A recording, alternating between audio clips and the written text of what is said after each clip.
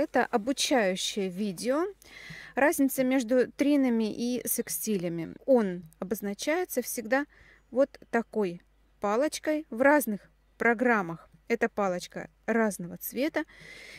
И вот такой звездочкой. Звездочка всегда обозначается одинаково. Аспект трин создает угол в 120 градусов.